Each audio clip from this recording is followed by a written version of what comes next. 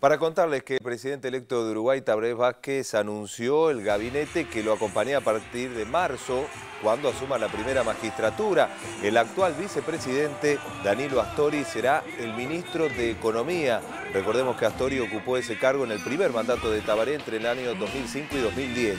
En tanto, Rodolfo Nil Novoa, senador nacional, volverá a ser parte del equipo del mandatario electo. En la anterior gestión fue vicepresidente y ahora será el canciller. En tanto, cuatro ministros de Pepe Mujica mantendrán sus cargos, Eleuterio Fernández Huidobro en defensa, Lilian Quechichián en turismo y deporte, Eduardo Bonomi en interior y Tabaré Aguerre en ganadería, agricultura y pesca. También la ministra de Educación y Cultura será María Julia Muñoz, que fue ministra de Salud Pública durante la anterior presidencia del presidente Tabaré Vázquez.